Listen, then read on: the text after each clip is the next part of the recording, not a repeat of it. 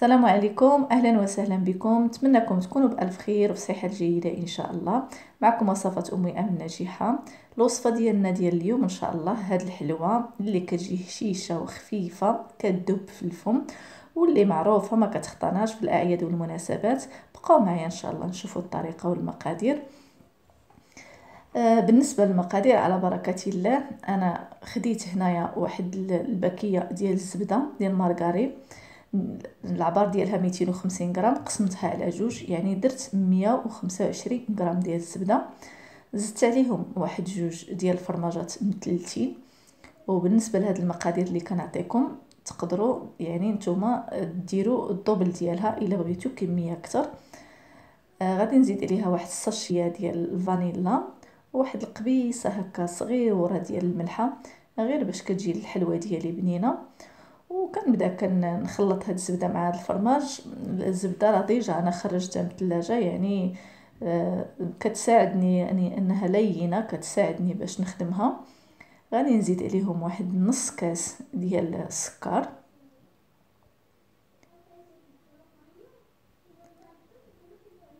وبالنسبة للتنسيم آه أنا نستمت بالفانيلا. تقدروا ديروا نتوما القشور ديال الحامض ولا القشور ديال البرتقال ولا اللي بغيتو التنسيم يعني كيبقى من اختياركم كيجي مع هاد الحلوة. وغادي نزيد نص كاس ديال الزيت كما كتشوفوا ونخدم هاد العناصر مع بعضياتهم تيرجعوا ليا كريمي. حلوة سهله وبسيطة وكتوجد في دقائق. وهي صراحة كتجي بنينه ولذيذه وهشيشه وراها معروفة. بالنسبة ليا هنايا أنا زدت هاد الكاس ديال اللوز اللي محمر ومهرمش. هنا كيبقى لكم الاختيار. كان عندكم اللوز كان عندكم كاوكاو كان عندكم الزلجلان يعني وحدة في هاد العناصر تقدروا تضيفوها لهاد الحلوة كتجي زوينة.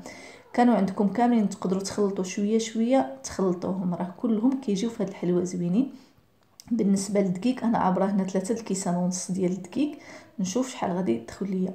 درت الكاس الأول وهذا الكاس الثاني وغادي نمشي بالتدريج. ما غاديش ندير الدقيق يعني في مرة واحدة لأن على حسب الدقيق مرة كيشرب مرة ما كيشربش.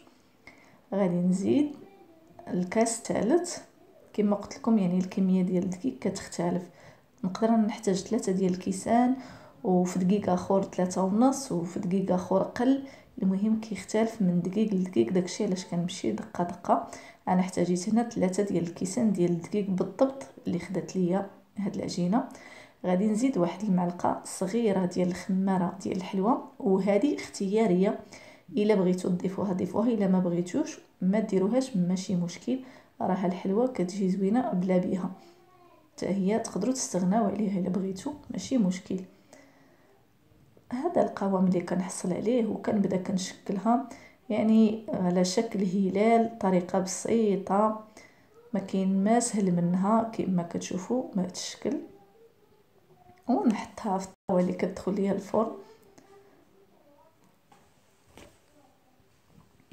وصدقوني هاد الحلوة زعما صراحة سريعة ما كتاخذش الوقت دغيا في ساعة كتنوضي كديريها.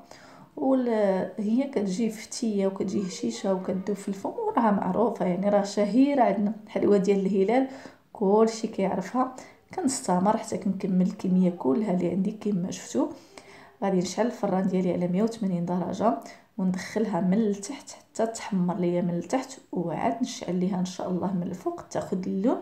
ومن بعد عاد غادي نخرجوها كما كتشوفوا ما كنغفلش عليها الفران باش ما تحرقش ليا. ها هي دابا من بعد ما طابت كما شفتوها راه محمرة. غادي ندوز نزينها والتزيين هنا كيبقى اختياري على حساب اللي بغيتو. أنا غادي يعني نديرها غير في السكر كلاصي كما شفتوا ونحطها. وهذا غير اقتراح إلا بغيتو تزينوها بطرق أخرى مثلا ديروها في الكونفيتور وتمرمدوها في في في الكاوكاو ولا تمرمدوها في اللوز ولا تمرمدوها في الزجلان ولا كيبقى يعني يعني التزيين من اختياركم. أنا درت غير بالسكر كلاصي وحتى السكر كلاصي راه كتجي زوينة. كنستمر حتى كنكمل الكميه اللي عندي كلها. نتمنى أنكم تجربوها راه كتجي بنينة وكتجي هشيشة. كتجي رائعة وسهلة وما كتاخذش معنا الوقت بزاف. إن شاء الله إلا جربتوها طبعا وعجبكم الفيديو. ما تبخلوش عليا بالاشتراكات ديالكم ولي لايكات ديالكم وشكرا لكم. إلى فيديو قادم إن شاء الله بحول الله.